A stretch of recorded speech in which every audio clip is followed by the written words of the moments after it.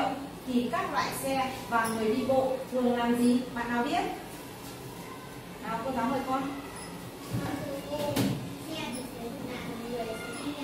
Rồi, không có đèn tín hiệu giao thông thì sẽ xảy ra điều gì? Nào cô giáo mời con nào. À, bạn có giỏi không nhỉ?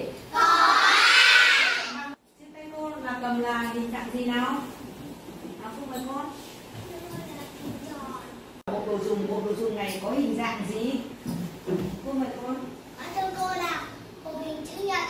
Rồi cô cảm ơn con. Đây là đèn tín hiệu giao thông. Vậy để làm được một cái đèn tín hiệu giao thông thì chúng ta cần nguyên vật liệu gì? Nào bạn nào biết? Nào cô mời bạn Tân nào. và giấy màu và keo và kéo và băng dính lại À, trên tay cô là một cái đèn tín hiệu giao thông và được làm từ nguyên vật liệu như giấy màu hay bìa cứng. Vậy thì các bạn có muốn làm một cái đèn tín hiệu giao thông không? Vậy cô và các bạn sẽ cùng đi sáng tạo ra những chiếc đèn tín hiệu giao thông nhé.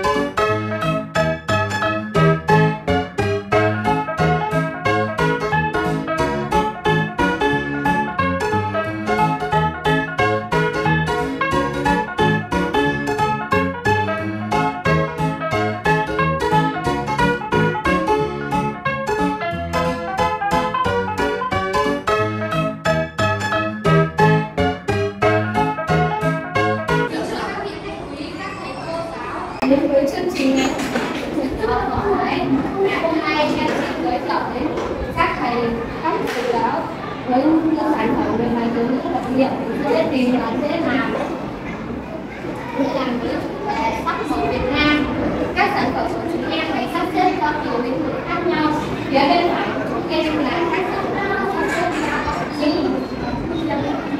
những những sắc màu và nét văn hóa của Việt Nam ngay trước mặt các thầy cô là những cơ giải trí với những cảnh vật rất gần gũi thân quen nhất dễ